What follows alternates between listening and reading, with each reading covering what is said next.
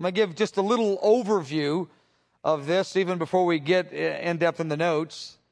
And again, it's 40 pages, so we're just going to just skim over it because the point is that you would study it uh, more later at a later time. And so it's the bride's final intercession and her final revelations. We ended in verse 7 where it says that if a man would give for love all the wealth of his house and be utterly despised. And I talked about that proverb, the meaning of it being that the, the reward of a lover is the power to feel loved and to love in return. The reward of a lover is the ability to love, the ability to, to experience love, the two way love.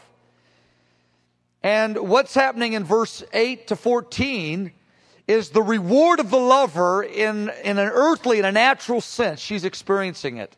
We could call this session the romanced heart, the overflowing heart, the sealed heart. It's what she experiences as a gift from Jesus to her for her spiritual violence, her radical obedience.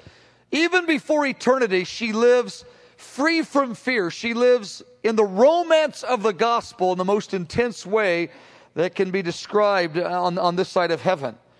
Her emotional life is being described here, uh, being described here. The Lord has touched her. And again, uh, the reward of the lover is now upon her. The romance tart is fully flowing right here.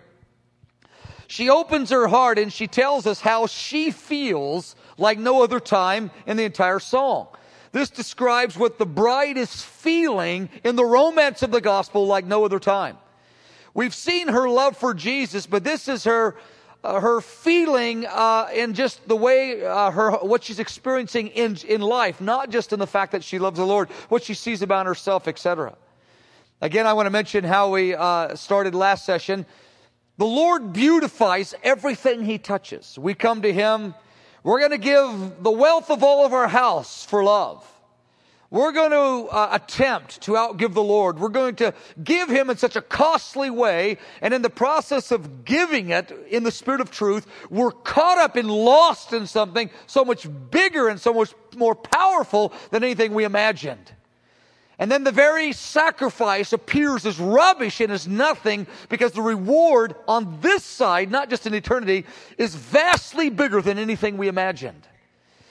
The lifestyle to give everything has even on, in the earthly dimension, a reward greater than any other. We talk about the heavenly reward. Well, this is her earthly reward.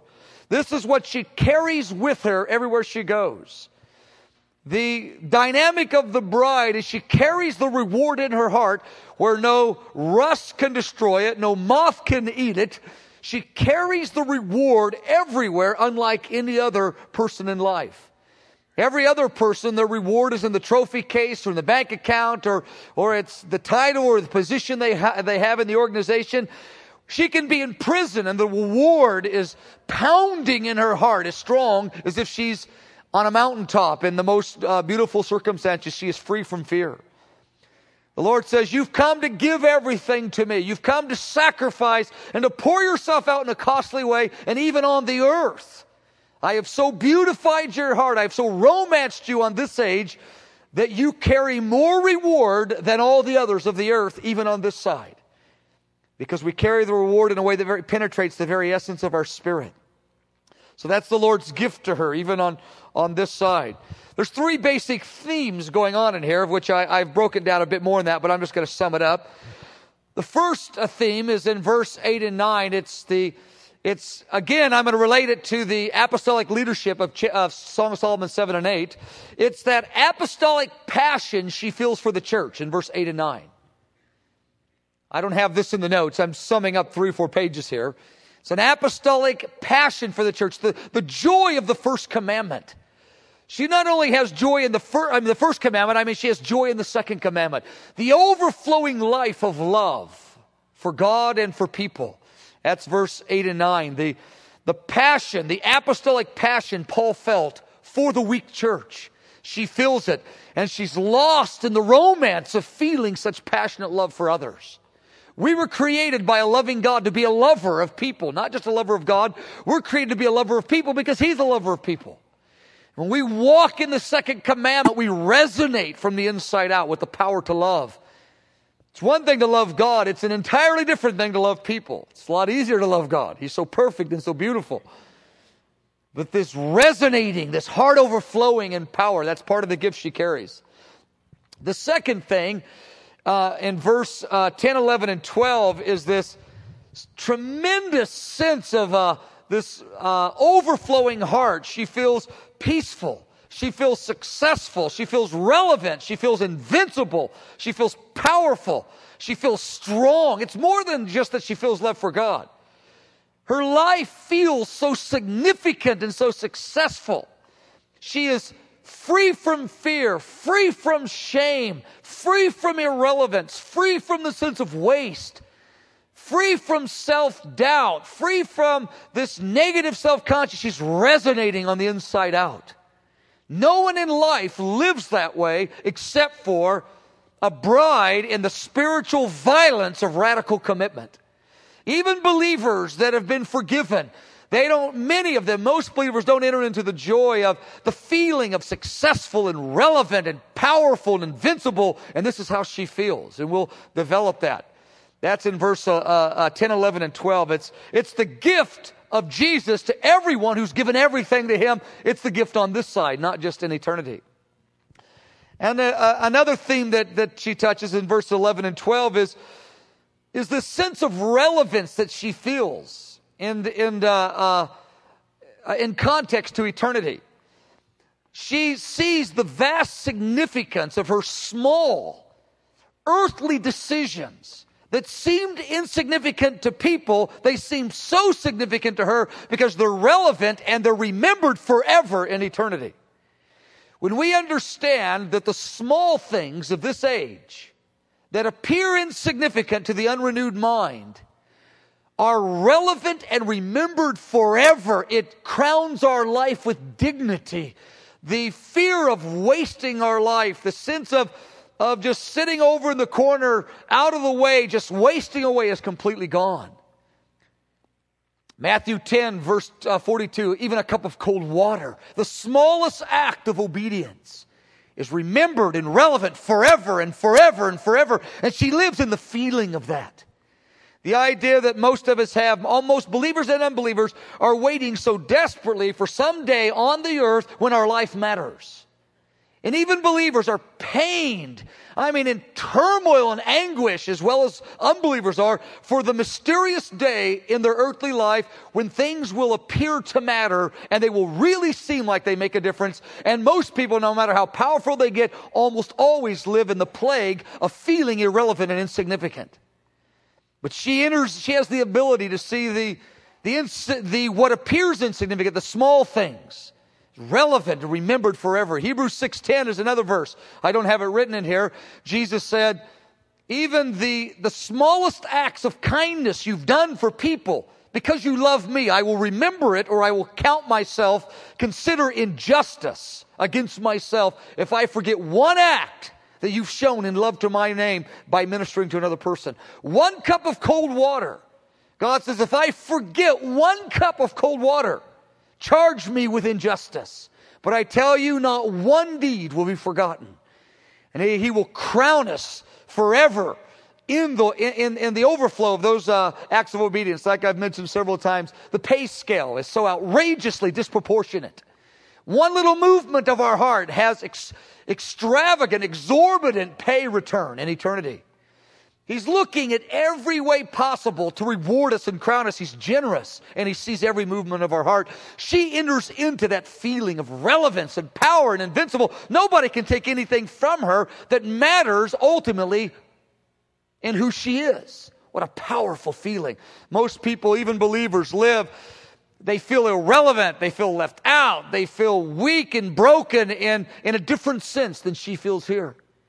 She says, I carry the reward everywhere with me. Put me in prison, I'll sing the love songs to God. Take everything from me, and my spirit is alive on the inside. Paul the Apostle entered into that kind of romance that she describes in verse 8 to verse 14. It's absolutely magnificent. The idea that we're training in this age And the training matters for the age to come is a wonderful reality. Every cup of cold water you give is part of the training. It's part of the course. It's part of, of that which God has set before you. I was uh, uh, just uh, pondering the, the, uh, an interview I heard some years ago of the Olympic athletes. And I just found out tonight it was in the 1980 Olympics in, in Moscow, the Olympic athletes that, and the Americans that trained. And when Jimmy Carter, because of the Afghanistan invasion, uh, said the U.S. would boycott the Olympics, they trained for four years. And a number of these athletes, they were retiring after the Olympics. So it's not like they were young in four years and it just kind of brought them to the uh, next uh, level of skill. Some of them were, were retiring and some of them were interviewed. I remember hearing it and the devastation. These athletes said, we trained four years and this is it. We're retired now. There is no other Olympics. This is it. It was for nothing and the pain and devastation. Beloved, every movement of our heart that no human sees, it matters. It's real. Now, with that, if that touches you, your life changes entirely. Not one day, not one day is irrelevant. You may never be known by man. You may never have an unusual anointing. You will never make an impact in history, possibly. But every day is full of meaning in life, and this is the romance she enters into. She sees that everything that the Lord has offered to her, she said yes to Him in it. And whether it's large or small in the arena of man, it's eternally significant to God and therefore to you. And she lives in the power of it in the present tense. Oh, I want to enter into that in a greater way. Well, where do we go now? Let me see. I'm going to have to give a real abbreviated one.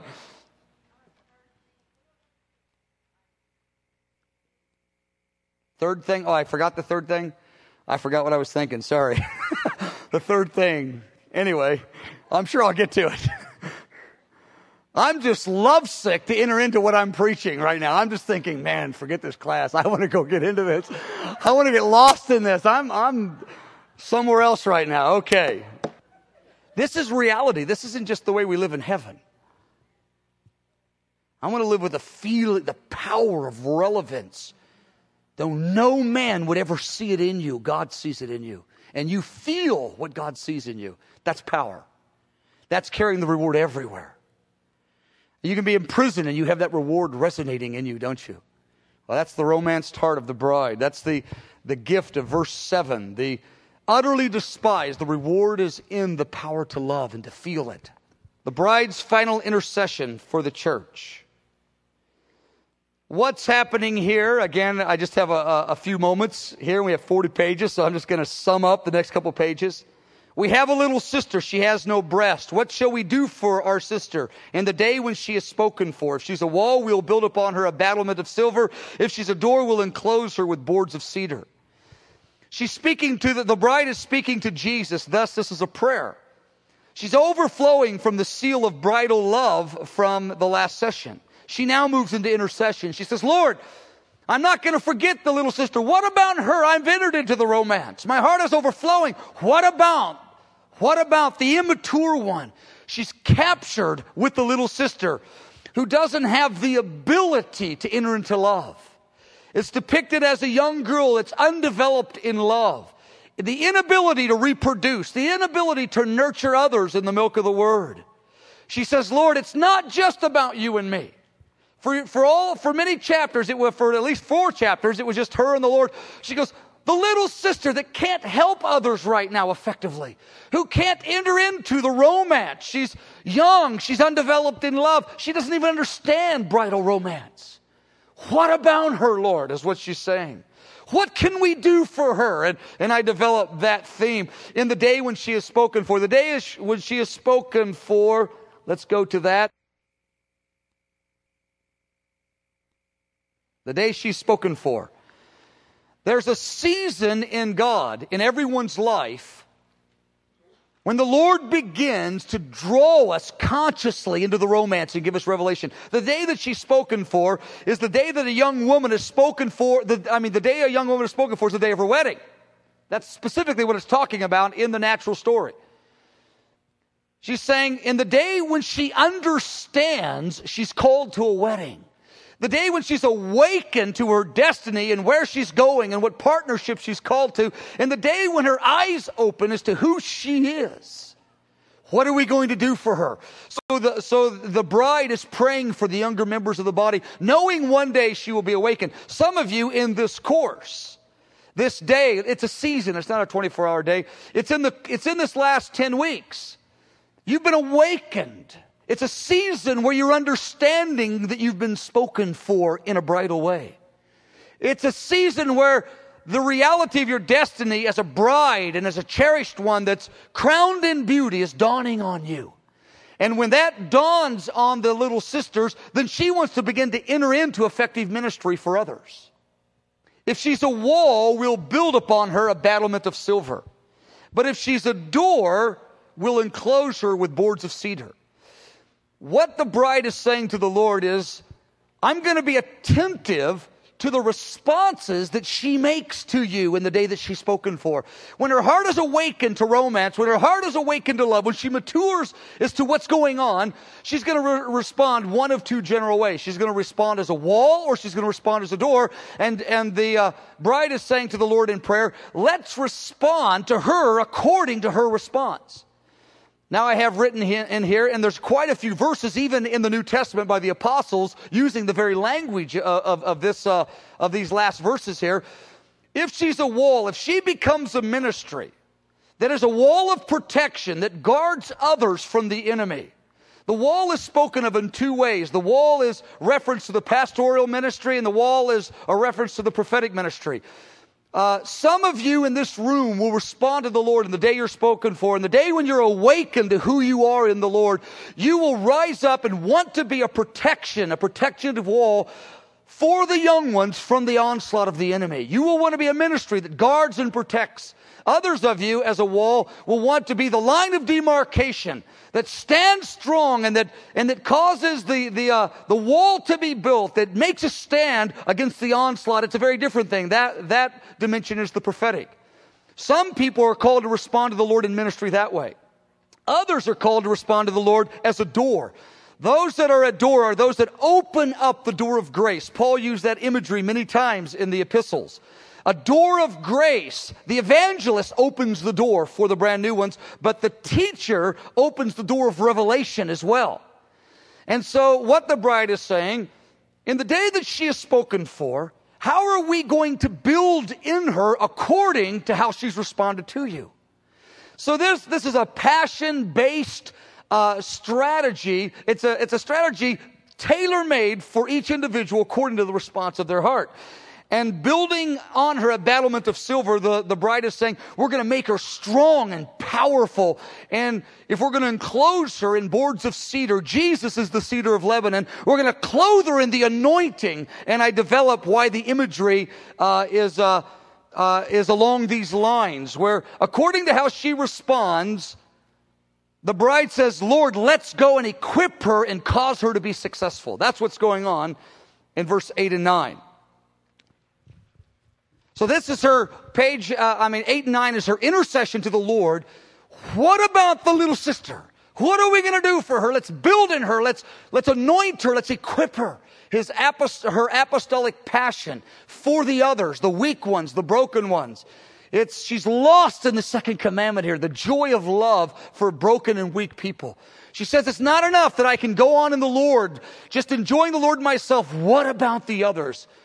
Oh, what a powerful reality when the Lord burns and stamps his zeal upon our heart for his people. Okay, now, different directions. She's changing directions now. Now she's describing three dimensions of the overflow of her own heart. She says, I am a wall, number one. My breasts are like towers. My ability to nurture is contrary to nature. It's supernatural. And number three, I became in his eyes as one that has, is overflowing in the peace of God. I am a wall. She says, I know the truth of my life. When no one's looking, I live for the protection of others. She has this witness in her spirit that her whole being is caught up in selfless, labors for other people. She goes, When I think of myself, I'm not trying to build something, a name for myself, or to build a comfortable lifestyle, or to carve a little niche out for myself.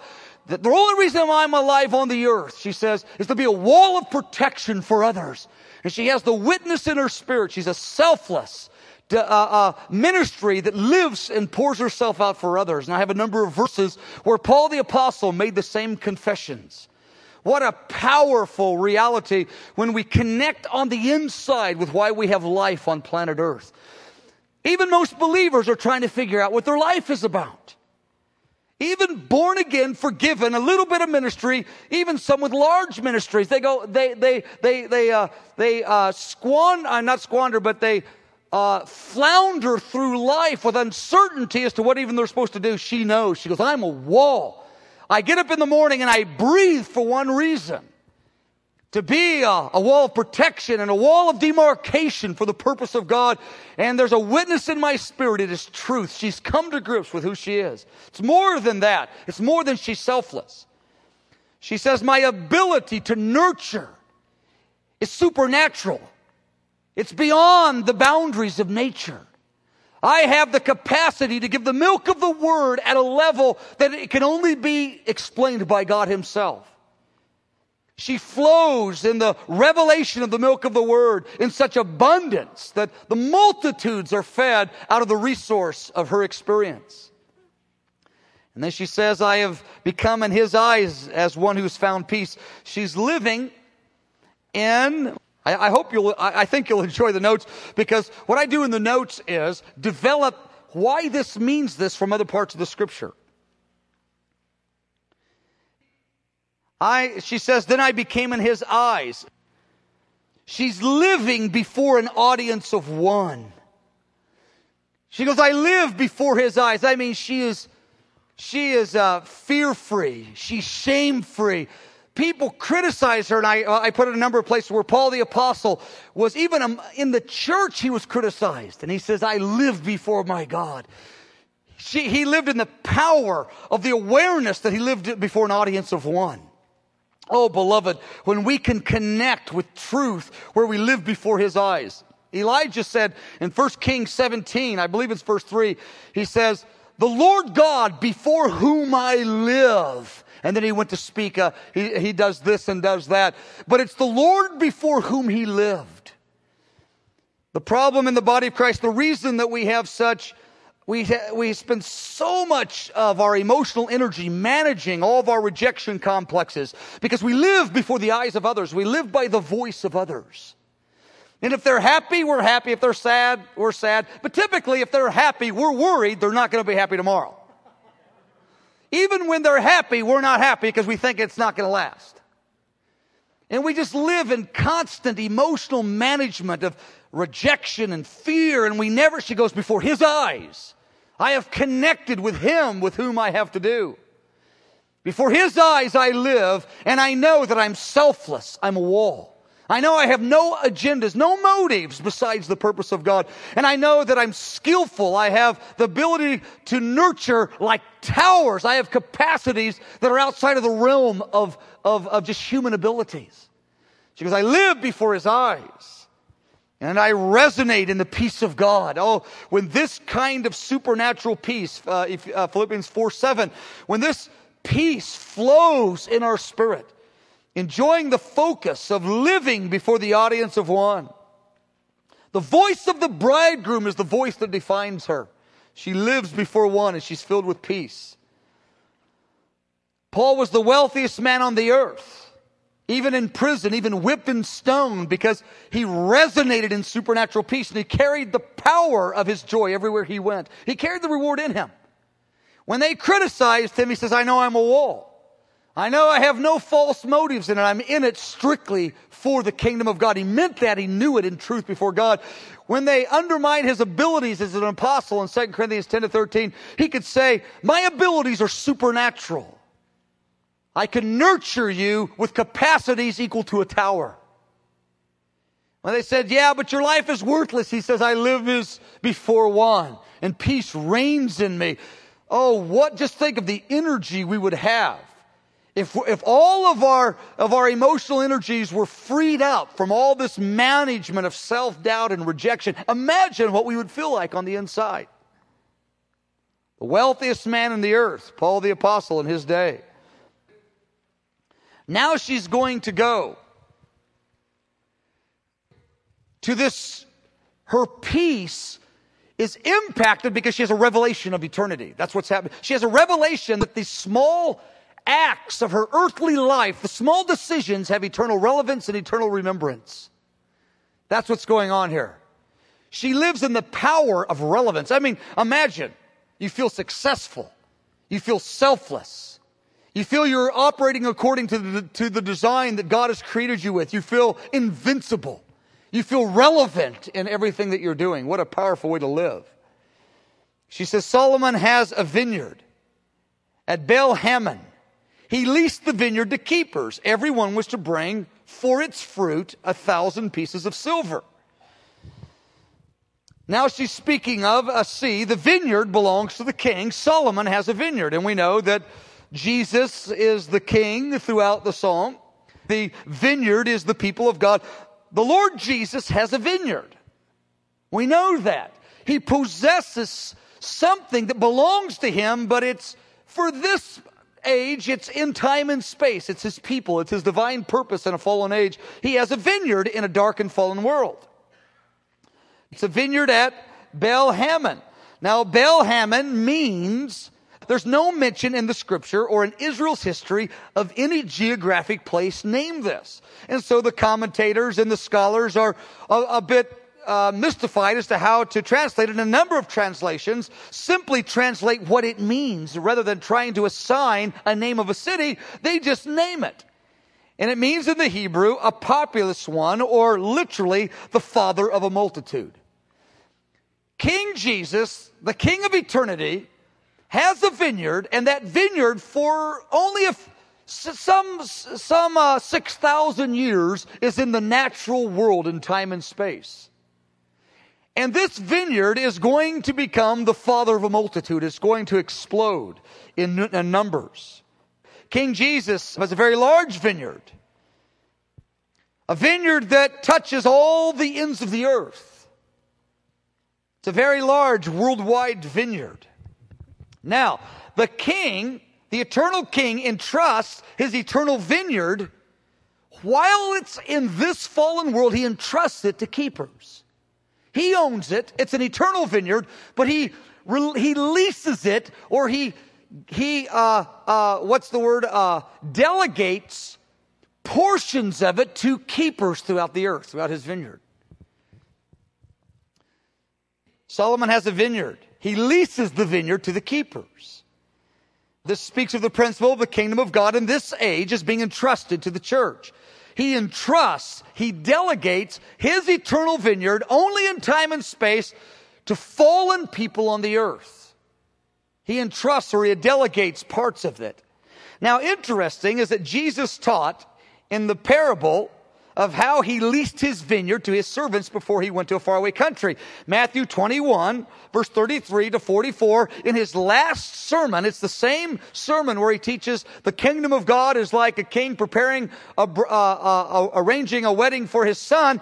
In the very same message, just the parable before, the kingdom of God is likened to a vineyard of which the king leased to keepers. I mean, it is directly out of Song of Solomon 8. I have no doubt in my mind that Jesus is referencing Song of Solomon 8 because in Matthew 22, just one chapter over, he talks directly about the wedding.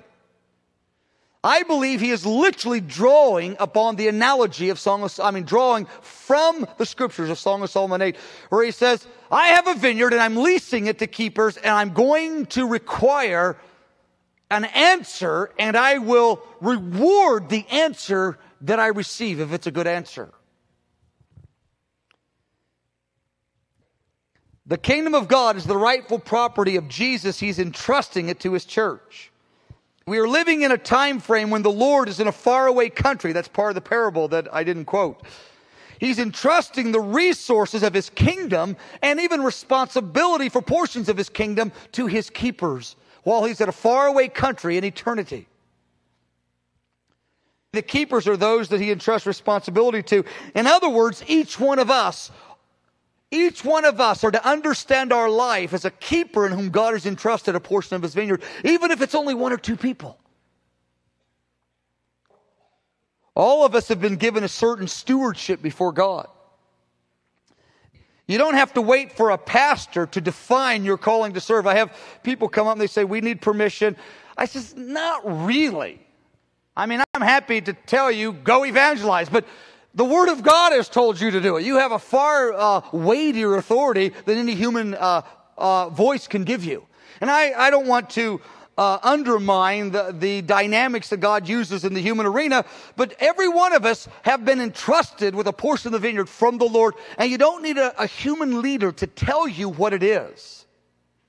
It's yours now, regardless if a leader ever defines it accurately to you. Chances are the leadership of the church might tell you the wrong place and the wrong thing to do. Find where your heart is and do it.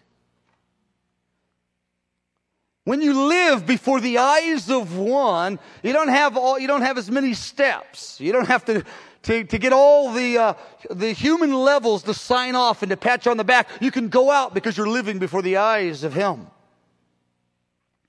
And I believe there's a, a place to see your, your ministry labors coordinate in the larger strategy of a local church.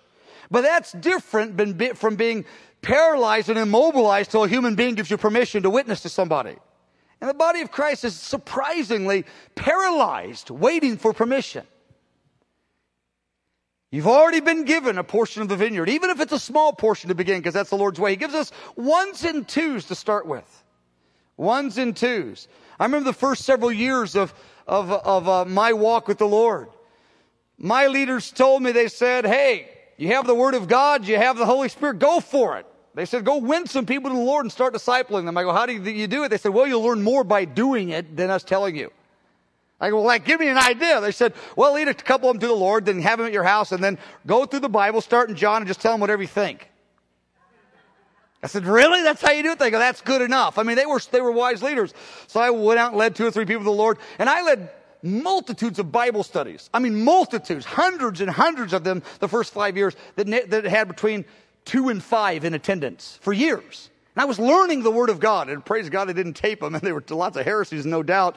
But I was working right through everything, you know, and these little, they were like a, I was nine months old in the Lord, and they were two months old in the Lord, and they're going, wow. And I go, oh yeah, that's what that means. And, uh, but I learned the Word of God by becoming a keeper over twos and threes. I mean, literally, for a number of years, most of my ministry was over twos and threes. I didn't wait for a leader to tell me. I didn't wait for them to give me permission. I had one youth leader just says, go start doing it. So I went out, I was 16 years old, got a bunch of 13 year old junior high kids that would believe me. They, I don't know if they were ever really converted or not, but they said they were. And I taught them the Bible and who knows what, how that came out. And I did it week after week. I ended up with two and three Bible studies a week. For the first three to five years, I was consumed in teaching them, and I don't hardly recall a Bible study over five, except for, I mean, I remember the big one. We had 30. That was the, like, the one we got, like, nervous three days ahead of time, was the 31. But we, most of all of my Bible studies were three to five. And lots of people just want to skip that first 10 years and go right in some other arena. And I just, and I think if you're burning on fire, get three people in your house and start. Just start. You don't need anybody's permission. The king who owns the vineyard has already entrusted part of it to you. You're one of the keepers. Go for it. Go for it. Do it before his eyes. And, and I was surprised that all of a sudden more people started showing up. You know, I thought, well, this is fun. And then the people that showed up started getting mad at me because I didn't do it the way that I thought, whoa, that's got a funny dynamic to it. And it, all kinds of little surprises begin to happen everyone was to bring for its fruit a thousand pieces of silver. This is what she understands. That every keeper, every keeper was to bring fruit as they cultivate through hard work the portion of the vineyard God gave them. Every one of them, the Lord would ask them for an account. Now, when we hear that, we, we because of our unrenewed minds, our negative mindset, when we think of eternity and account, we go, oh no, when if you understand it, you think of eternity and account, you go, oh yes, because he pays so well. He pays so well. One cup of cold water is amazing what he gives. He pays so well. Don't go, oh no, go, oh yes. Every movement of my heart, every individual I touch, he pays you when you bring the fruit. It's an amazing thing.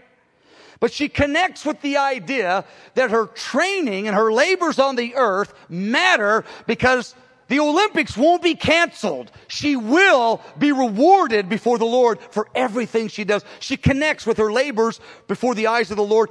Fruit is brought and he answers that fruit with a reward. He smiles on it and crowns us for it. Every day of her life is relevant now. Doesn't matter what position of life. You can be in a prison. You can be on a sick bed. You can be in a welfare line. You can be stuck out in a desert, stranded somewhere. Every day will matter if you live before his eyes and go, okay, let's do it today. And you get a revelation that he pays well for every movement of your heart towards him. And and begin to lay aside the pain and the anguish of the great hour on the earth when everything will seem important because that hour may never come except through revelation that we see every little thing is important. I, have I've had the opportunity to meet some, some uh, well-known ministries that have large public profiles, and I am surprised. I'm not, I'm not anymore, but in the last 10 years, I'm surprised at the, the level of discontentment and anguish that men who speak to thousands have about the irrelevance of their life. It's mind-blowing to me. I, I thought, does anybody ever enter into the joy of feeling relevant?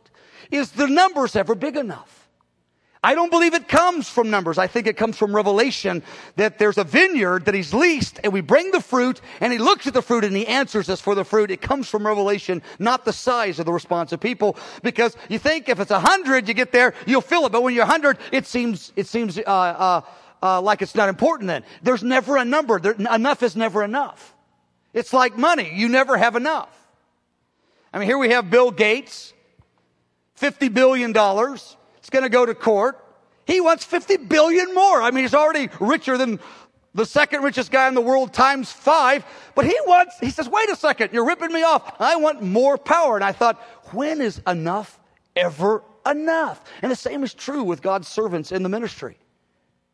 It comes by revelation, not by response of people, the number of people responding. It really doesn't come there. And, and, and I, I'm not saying that as a, the final authority, but my observations in life meeting on some number of people that talk to thousands, most of them in their spirits feel very dissatisfied with their place in the kingdom. I thought, where is this? And I just feel the Holy Spirit's answer is, it's not in size. It's in the revelation of the, the, of the, the king who leases it and then rewards us for every movement of our heart and every cup of cold water. It's found in revelation. And if you can tap into this one thing, your life feels relevant and powerful now. And the feeling of being wasted is one of the most debilitating feelings, surpassed only by being rejected and by feeling filled with shame. Rejection, shame, and waste is how most people feel all the days of their life. I tell you, in the gospel of the kingdom, we don't have to live paralyzed by the feeling of rejection, the feeling of shame, and the feeling of wasted, irrelevant lives because we don't have people and money before us in a way that seems like makes our life relevant. The king makes us relevant because we're living before his eyes.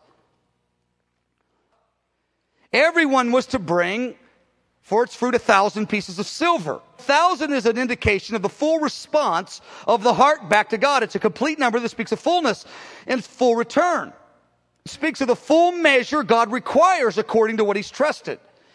He wants a thousand from everybody. Symbolically, he wants a response from us according to whatever giftedness he's given us. One person, he says, your whole sphere will only be to touch one, one person every now and then. That's the only sphere I've given you. And that's the full response I want from you. And I want you to enjoy the fact you've given me everything I've given you. You've responded right. I want you to live in the power of it and you'll carry the reward of life with you everywhere and you'll be one of the rare ones of the earth that enter into the romanced heart. The vineyard was rented out with an expectation of return. The Lord wants a return and He's going to pay so well for whatever fruit He gets.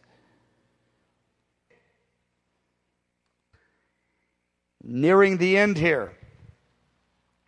Now she answers. Oh, this is her assurance of her own maturity and victory. She goes, My vineyard is before me. You, O Solomon, you can have the thousand you want. I can answer to you in love for that which you gave me. What a fantastic, powerful way to live. She goes, I know that I can give you that which you've asked of me. This doesn't mean that she doesn't have weakness. It doesn't mean she doesn't have failure. But she knows that her heart is fully given to the Lord in whatever measure. It doesn't matter what the measure is. The idea is that we give what the Lord asks from us. She's able to give what Jesus expects from her. A, and, I, and I describe the emotional dynamics related to, ha, to feeling like you're a tower. You have skillful abilities, feeling like a wall. You're selfless, you protect. Feeling in the eyes of God with peace because all that He's given you, you know you've answered according to what pleases Him. This is the spiritual violence we talked about Sunday. The violent take it by force. The violent live in the pleasure of this kind of romanced heart. Oh, again, the, the energy we spend managing our rejection, managing our shame, managing our sense of feeling irrelevant when right before us is, is our small things, but those are the, thing, the only things He's ever asked for us to do. We're waiting for big things and we despise the small things because we're waiting for the big things. And the small things is where the pleasure of the Lord is that He will give us right in front of us. He goes, That's all I asked of you was to give what I asked for, from you. Tell you, you could go to bed happy tonight. You really could. You could say, hey, this is happening. I, am going to be a wall. I'm doing this for God. I'm going to equip myself. And I'm going to live before an audience of one. And I'm going to live in the joy of a relevant life that nobody can steal from me. Yeah. Why not? I'm going for it. You'll carry the reward everywhere you go. I'm going to skip this one. It talks about team ministry. It's, a, it, it's an excellent principle of team ministry. She understands her, her, uh, the dynamics of team ministry. Let's skip it. Oh, yeah, that's where we are. My vineyard is before me. Okay, there you are. I was already here. My own vineyard is before me. Do you remember back in chapter 1, verse 6? Her vineyard was unkept, remember? Now her vineyard is flourishing. She's done the will of God and she has the confidence to know it. This whole section is about confidence and assurance of relevance, of doing right before God. And these things no human can give you. You can only find these in the seal. You can only find these in the abandonment of living before His eyes. No human being can give you the definitions to where you will feel confident before God. You can go to your leaders and say, I just want to feel better about it. They can help a little bit, and they will help a little bit. But when it's all said and done, the only thing that will give you assurance is when you've silenced all the voice of everyone else and you feel from Him what He wants from you. And he might say, I just want you faithful in the prayer room right now, and I want you to touch a few people in your neighborhood. I want you to touch a couple children at children's church, that one guy at the office. And that's all I want for now. But enjoy me enjoying you doing it. I've not asked of anything else. Enjoy it now. Enjoy me enjoying you. Enjoy me watching you and enjoy the process of it now and live, let the agony of living before the eyes of men to make a great world impact, changing all of history. There's no reward in changing history. Anybody that changes history, it's been given to him as a gift from God to do it. The pay's not greater for changing history. God only pays us and rewards us according to the fact that we've done what he said to do. Whether you raise the dead or take a nap, the pay is truly the same. Changing history is not noble for the next 20 billion years in eternity. What is noble is doing the will of God before his eyes, not changing history. And the strife we have to make a big impact is this it destroys our ability to interact with God in the present tense. It truly does. The Lord's fi- Jesus' final commission to the bride. He says, You who dwell in the gardens, the companions listen for your voice. Let me hear it. What a powerful thing going on here. You who dwell in the gardens, what's happening is that she's in the church. She's in the gardens. The gardens is the church. That's where Jesus was in chapter 6, verse 1, 2 and 3. She goes, You're in the gardens. You say, Well, that's wonderful. Well, most people that have been in the kingdom for a while, most believers that are in their 60s, they're out of the church. They're at home watching, I would like to say Christian TV, but most of it isn't Christian. Most believers that have been in the kingdom for years and years are so disappointed. They had so many wrong thought processes and so many wrong expectations. They're, they're disappointed at God. They're disappointed that, they were not given more honor in the church. They're disappointed that their anointing didn't bear the kind of fruit they thought. They're so, their hearts are so bound and burned over with disappointment, they're not in the garden anymore. They're at home biding time.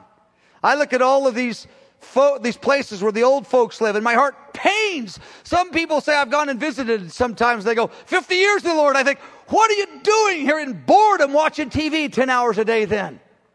I don't mean the fact that they're in the place, but with no vision, nothing to do, a locked heart. She's still in the gardens. She's still in the midst cultivating the garden, and she's been on the journey for years. Powerful. I talk about that. Her companions listen to her voice. She has credibility. She's not lost her testimony. She hasn't been disqualified. She's not lost her way. She still's making an impact in the gardens. This is powerful. The Lord says, Let me tell you something. He goes, I want to hear your voice too. He goes, I want to remind you. As the multitudes are coming, whatever the multitudes are, it may be from 10 to 20, the increase as you've matured. I don't want you so busy that you forget. This is about you and me loving each other. I want to hear your voice. Remember, it's about you and me in love. He says, let me hear your voice as your prosperity in ministry is increasing. How many ministries, when they're in the gardens and the companions really listen to them, they don't have time to speak before the Lord. That's called prayer and intercession. I develop those ideas. These, these are magnificent ideas. I don't mean my development of them, but these principles are so vital for apostolic ministry, for leadership principles. Because when folks, again, are in the gardens and the companions are listening, they get too busy for prayer and intercession, for worship. They're too busy to do the I love yous like they did in the early days. The Lord says, in all of your prosperity and ministry, let me hear your voice. It's about love, remember. And of course, the very thing she's uh, very happy to do. The Lord wants to hear her voice in four ways. He wants to hear her voice in worship, number one. He wants to hear her voice in teaching. He doesn't want her heart locked in discouragement. Now, this is a little different what I was saying a moment ago. A moment ago. It's the person who gets discouraged and quits. He goes, I want to hear you instructing and opening doors. He wants to hear her voice in evangelism, and then he wants to hear her voice in intercession. The Lord goes, I, I want you to stay fired up in the Holy Spirit according to the wisdom of God. I want, I don't want your voice silenced. What is the enemy trying to do? Silence our voice. Our voice before the body through shame and rejection and discouragement and burnout. And he wants to silence our voice before God by having a prosperous ministry. The enemy wants to silence our voice and God wants to hear it. We talk about that. In these past, I mean, these pages. Then she ends in verse 37. She goes, okay, you want to hear my voice? Then she gives the, the, she responds in love. She goes, make haste, hurry. Come to me quickly, the one I love. I love you. I love you. Come to me. She says, quickly embrace me in intimacy. And the Lord says, yeah, that's what I want. I want you to, to hear the urgency that you want me to come quickly to you. And then I want to hear the urgency and intercession. You want me to come quickly for you. That's the second coming. This is the same prayer you find in the end of the book of Revelation. I have it all recorded there. Maranatha, come quickly. She says, Oh Lord, there's urgency, there's zeal. Come to me, my lover. Come. She's hot in love at the end. The journey ends with urgency in worship and energy, uh, urgency in intercession. She's asking the lover to come quickly like a gazelle, but he's coming from the mountain of spices. Oh, what a powerful imagery this is. The mountain of spices. Let's look at this. The beauty of the eternal city. The mountains are unusual, they're spectacular. The mountains of spices are the place of unbroken communion with the Lord face to face. This is our greatest longing. Remember the Lord called her, he was on the mountains back in chapter 2, verse 8 and 10. He says, rise, come. And she said, no. Now he's on the mountain. She says, oh, I want to do the mountain thing with you all the way, forever and forever. A mountain of spices. What romantic, romantic imagery. The fragrance, the pleasure, the beauty of the eternal city, the abundance and diversity of the spices. There's not one fragrance and one spice. The, if there was a bed of spices in his personality in chapter 5 verse 13, and if the church is a bed of spices, eternal city is a mountain of spices, of diversity of feelings and, and, uh, passion and fragrance and beauty. It's spectacular. And that's where she's going into a spectacular spectacular encounter forever and forever on the mountain of God. And she says, Oh, come quickly to me in intimacy and come quickly for me at the second coming. My life on the earth has only found its meaning in you coming to me, either in the spirit or in person in the sky. My life on the earth is only important to me much as it pleases you. Paul the apostle said it's those who uh, love his appearing. I remember when I first read that, those who love his appearing, you think, well, everyone loves his appearing. No, not really. Most of the church doesn't love his appearing. You say, yes, they do. No, most of the church is so rooted and grounded in their business and their own dreams happening and their own ministries flourishing. If the Lord was to take them in physical death right now, that's the Lord's appearing. They'd say, no, no, oh, ah, no, no way. I will stay here as long as I can. And I understand that we want to fulfill the mandate of God. But most people aren't anxious for the face to face. I remember one guy said, he says, I love the Lord, but I'm not homesick yet. The bride's homesick. I'm not talking about having a casual attitude towards physical death. That's not my point. But her life, her vision is the Lord. She says, Lord, I want you. And if it's here for a long time or a short time, I just want you. I only want to be down here for you. And most believers they want the Lord, but only after many, many years, and all their goals are accomplished on the earth. And Paul said, Oh, those that love his appearing, no strings attached. They want the Lord to stand before them. Amen. Let's stand. Oh, what about the little sisters? Oh, we have so much pain in our own lives. We don't think much about the little sisters. We think about our ministries growing, but we don't really think about the burdensome little sisters. We want our ministry to increase, but we don't want to mess around with people. It's like I heard the man say preachers love crowds, but they don't love people. It's true. It's true mostly through the whole body of Christ. We love, we love responses and meetings, but God's raising up a, a leadership that loves people, not just crowds. Not just the story of ministry. The little sisters that caused the trouble that cost so much that have no ability to nurture, that aren't developed in love yet. They don't even understand what's going on. Oh, Lord, we want to love the sisters. Lord, what are we going to do for them? Our, our life is captured with our responsibility to help them, to build on them if they become a wall, to enclose them in cedars if they become a door, to see them anointed in the, in the fragrant cedars of Lebanon. She says, I'm a wall. I know that I'm selfless. I know before God I have the witness of my conscience. I'm doing it for Him. I know that my ability to minister is this towers. It's supernatural. It's, it's beyond human dimension. And I live as one that finds peace. I resonate with an overflowing heart. I live as before your eyes. One of the reasons I have peace is, Lord, your vineyard, the one that you've leased out to the keepers, the one that you've asked for fruit from. I can give you that which you've asked. I live with one agenda to do that which you've put before me. I'm in the garden serving your flock. I haven't quit. I haven't given up. I haven't been disqualified. My companions hear my voice. The Lord says, Well, let me hear it. Don't let your voice ever be silenced by the enemy. Let me hear it. Don't let your voice be silenced by even busyness of prosperity. Let me hear your voice. Well, then come, Lord, come to me. Oh, come quickly. Make haste like a gazelle. Come quickly. I want your embraces now. Oh, and then, Lord, come for me. Whatever your timing is, whatever your timing is in the second coming or my personal appearing before you, come for me in your perfect timing. I trust you. Oh, take me to the mountain of spices, the, that spectacular romance and the ages that goes on, that's so diverse and endless in its splendor. Oh, take me to the mountain of spices, my God. The romanced heart, the overflowing heart of the bride. Oh, more love, more power. Our inheritance is in heaven. It's not on the earth. Our inheritance is in the in the city of God. Our primary inheritance. More of you in my life. More love.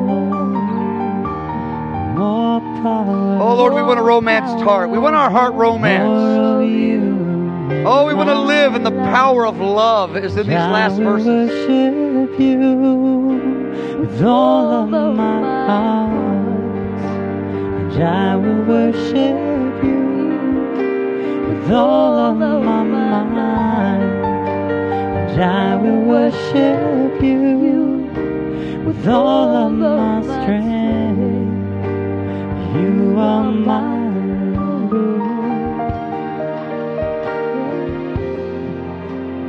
You are my Lord. Oh, we want to worship you. Make haste. Come to us. Oh, come to us, Lord. more of you We're not too busy in the gardens to hearken to you to come to us in More intimacy. love, more power, more of you in my life. And I will worship you with all of my heart. And I will worship you Lord, give us towers of revelation, we ask. Towers of revelation for the body of Christ. with all of my strength. You are my Lord. Some of you are a wall, and others of you are a door. You are my Lord wants to anoint you if you will respond to Him. He will give you towers of revelation in your season. This concludes this tape presentation from Friends of the Bridegroom. For more information on resources available from Mike Bickle, as well as news about upcoming conferences and live broadcasts, visit our website at www.fotb.com. Thank you.